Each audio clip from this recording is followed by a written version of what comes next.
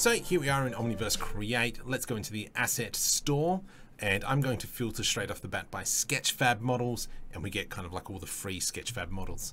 Um, let's start off by finding a location. Um, Groll Bridge. So I'm going to double click to download that. Let's save it in a location. Right click new folder and location. That's not how you spell it, but that's fine. Select let's just go a yes to that, please. And let's go ahead and find some sort of car. And uh, this Datsun. Mm, yeah, let's download that one. so the same process there. Select, let it download. Now what we're going to do is come into the content, find the location, no worries. Uh, double click on that one, and then let's open up our Rickroll Bridge. What are we looking at? Yeah, right. So it's a photo scanned asset, which is not too bad. I'm sure we could do something with it. My big concern is, is the materials might not be set up correctly. So what I'm going to do is go right click, create mesh cube. And we can see that there's no shadows coming down. So if we were to go into a sunny sky, we've got no shadow. Now that is because um, on these scanned assets, the material, if we click on this, it's got an emissive color, but it's kind of like still being emissive. So it's not capturing the, it's not being able to capture that shadow because the emissive. What's the correct process? No idea. What's the workaround? so let's delete that. I am going to select everything with control A. Let's go file, export, and in location, I actually just going to export this as an FBX, Rickroll Bridge, save.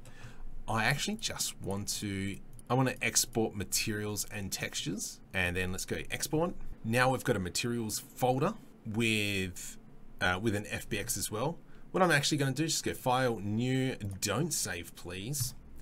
And from here, let me just delete this uh, ground plane. From here, I'm going to click and drag our model, our mesh, sorry. There we go. And over here on the right-hand side of the transformation, I'm just going to reset the transformations. So you can see it looks pretty much the same. If I left click on our mesh here, click on the material, let's come down to emissive and we can see that we've got an emissive map and that's uh, enabled emissions. So let's turn that off.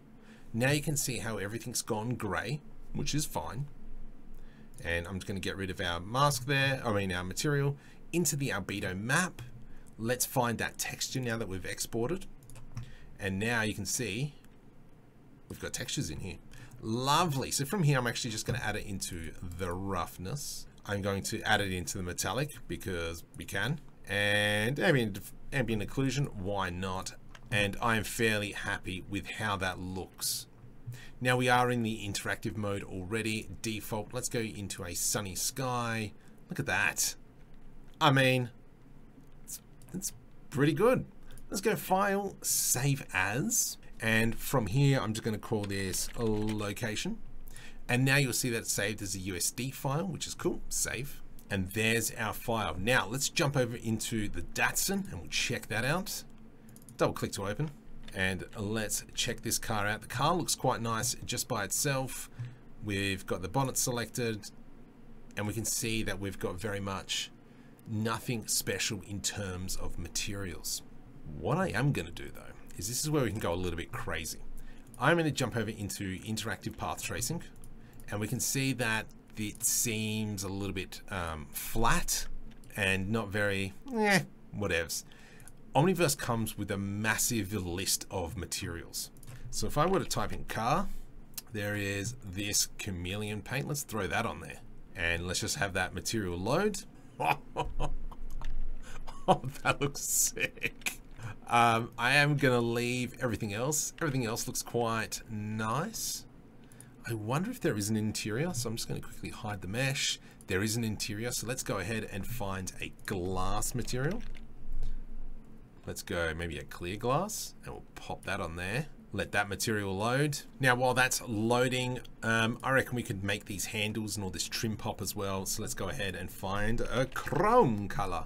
Chrome onto there, please. And we'll just make that pop as well. That looks gorgeous. So from here, file, save as.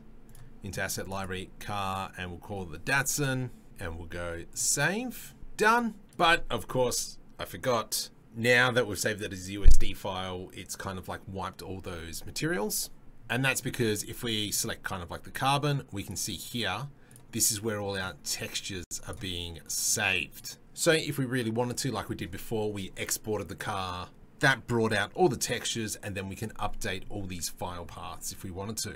Let's go ahead and select everything, file, export. now back in the main file, we've got all our textures, so kind of like the brake light. Let's kind of expand on that, texture base. And I'm gonna go ahead and just start updating all these. Just click and drag them into their spots. And uh, just give me a sec. And just a quick look at the car. It is looking legit. File, new. Let's delete that ground plane. File, save as and we're just going to make this our uh, scene. From the asset library now, I'm going to go into our location, which I can't spell. I'm going to click and drag our USD location or dump that into our place. I am going to get rid of this ground mesh. Back onto the location object, I'm going to just reset the locations. And let's have a look. Is it actually sitting on the ground plane? It doesn't look like it. So where this grid here is our ground plane. So let's kind of just take it up we don't need to do this, but I'm just kind of being a little bit of fussy buddy. Fussy buddy? Now, how am I going to block this scene? I'm not going to worry about these cars. I reckon we're going to go something like here, unless there's something else on this side. Oh, there it is. I reckon, yeah, we park the car here-ish. So let's go ahead and do that. Let's bring in our car. Now we're going to go into the USD, click and drag and slap that one there. Is that to scale? It seems a little bit small, but that's fine.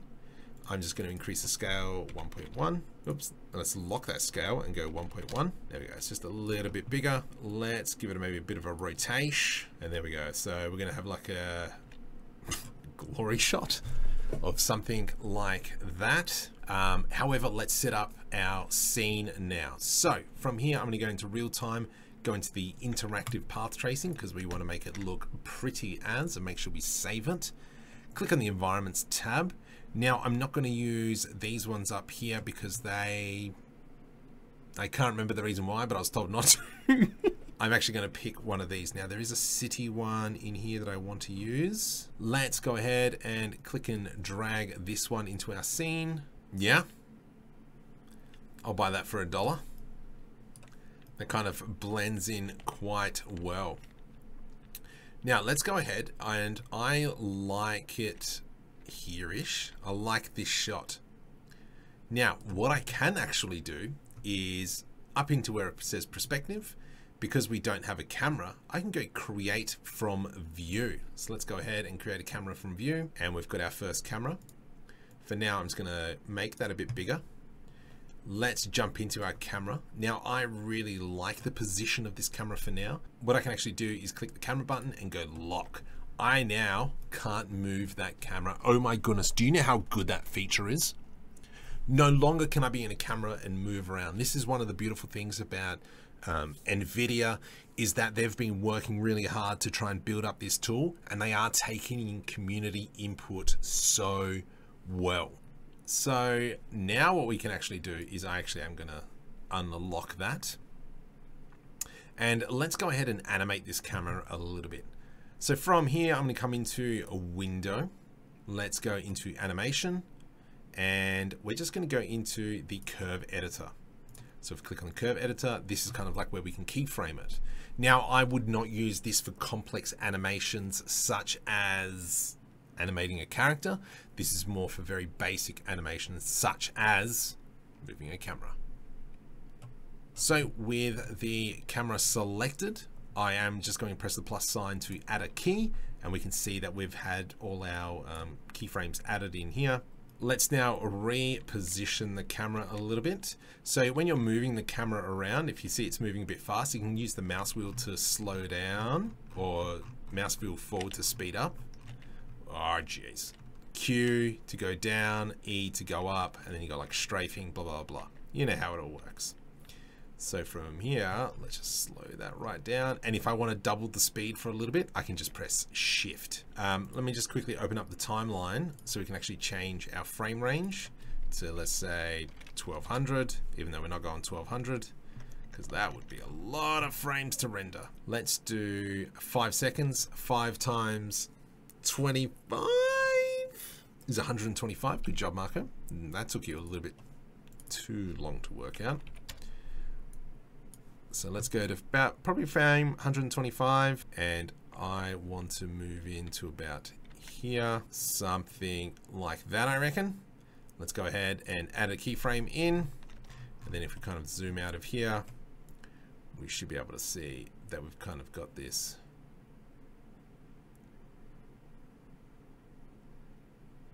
Yeah, look at that.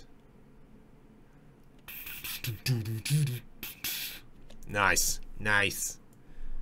I like that. That's a pretty cool movement. I wonder if I can just select all these and come up here and have this one come in as linear. So when we press play, it's already moving in at the right speed and then it'll slow down. Nice. Now what I'm actually going to do is I'm going to lock this camera now, jump back into perspective. There we go. And I'm going to go maybe, yeah, let's go something like this. And we'll make this at about a frame 120. We haven't selected a camera yet. I'm going to go perspective and create from view. Select our camera 2. Let's add in a bunch of new keyframes and then about frame 250 let's kind of bring that puppy down. All right, let's plus that one in there. Let's zoom out a little bit. I want this to be linear. And so we've kind of got this. and then let's just do, I'm just going to do probably one or two more cameras. Now for this shot here, you can kind of see how I've come around and gone like so. I think it's a little bit too quick. We're going to make this actually a lot longer. So I'm going to go ahead and select everything and I can come in here. Now, unfortunately, there isn't a scale function at the moment, but it is something I have put in. So actually, I'm just going to select my keyframes here. And what I can do is lock them so they only move horizontally. And I'm going to move this one to about 160 and then this lot here to about uh, 230. Now the cool thing is if I want to kind of see my whole graph, I can select this button here, frame all, and then we can see our whole, all our frames. So let's have a look. How's that looking now? Is it a little bit better? I think we might even animate at this point in here and we'll add in that keyframe. There we go. That's looking...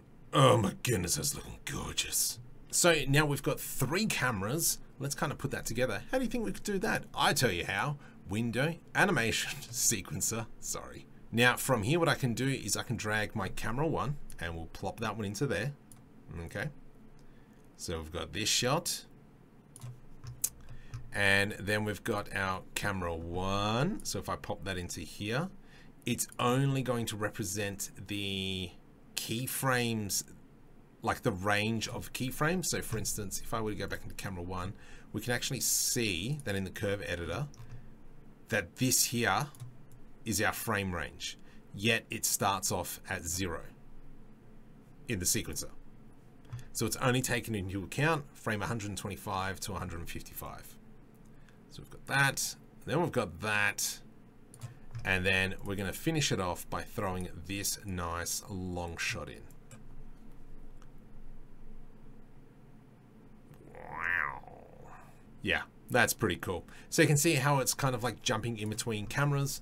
If we don't want it to jump in between cameras just for now, I can press this blue button here on the left and it'll just stay with the camera that I have selected. Now, one thing we didn't really talk about is camera setup. So I'm going to select my first camera and we're going to increase the size of that. I'm just going to unlock it. I want a bit of a depth of field, so I'm going to go one on the camera f-stop. What I want to zoom in on, I'm just going to select our sample focus distance, click and drag. There we go, click and drag, make sure we select our car. Nice. Now what we can do as well is because obviously the camera is going to be moving and this might get out of focus, eh, it might be okay. Let's just leave it as is, but we can actually animate our focus distance and so on and so forth. So I can go right click, set key. Let's uh, go ahead and lock that camera before we forget. And we'll do the same for these other cameras. And then we have it. We've got this really nice looking shot. Render settings. From here, top right, render settings. Let's start off in common. Now I've got a whole bunch of settings we can change here. I am going to turn on global volumetrics effect. Now you can see off into the distance, we can no longer see our HDRI. So this multiplier density, uh, I'm going to lower that. Now, you can move these sliders. You can actually move any slider. But if you actually want to type in a number, you hold control and click. And now you can actually type in a number. Beautiful. That is looking good for me. I am not going to change any of that. From here, I'm going to jump to path tracing, sampling and caching. I'm actually going to turn both of these off um, and hopefully the render will look a lot smoother. Denoising, don't really uh, don't really touch, sorry. Most of this I will leave, but in the post-processing is where you can get a little bit crazy. Now auto exposure, I can turn that on, you know, do that kind of jazz. Color correction, don't really need to. I like the way it looks. I have been playing around with a chromatic aberration. So if I turn that on, you can kind of see how the colors get a little bit wonky. But this is where we can kind of come in and go 0.01, 0.01, 0.01. Uh, I've got it the wrong way around, so let's go into the negatives. And what this will do is more around the outside of the image we'll add that, you know, colorful, beautiful. Mm. That is so good. We will turn on a bit of motion blur. With the FTT blo FFT bloom, we can turn that on and it gets kind of like everything gets blown out a little bit, which is okay, but I actually am going to probably scale it down a smidgen to maybe 0.03, just so it's not as intense. And uh, let's, yeah, probably just leave it at that. Make sure we save. And now we can come in and talk about our render settings. So, render settings? Movie capture, that's the one, sorry. Let's open up our movie capture and now we have kind of like the settings we want to go for. So the frame rate is 24 frames a second. We might just change that to 25. Um, I am going to leave it as, you know, just HD captured frames. We are going to bring it back to 575. So 575. Let's just change that back to HD for some reason. Um, rendering presets. So this might capture you out. Change that to either use current or interactive path. Over here is the sampling. So that's kind of in Blender sampling for those of you who sampling. I might just bump that up to 256. Let's now find a place to save it. And uh, now we can capture sequence. One thing is, the reason why I selected the render preset as the actual render engine rather than use current, because as this kind of renders, it's going to be rendering this image as well. So I'm actually going to change this back to real time and get stuff. Let's just make sure of that. And now we click capture sequence and we go to town. And voila,